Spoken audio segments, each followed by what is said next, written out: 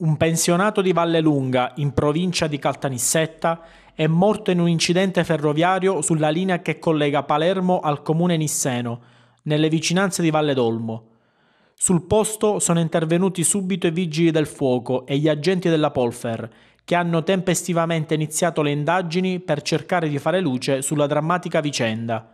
Inoltre è arrivato anche il medico legale per decidere se disporre l'autopsia sul cadavere dell'84enne.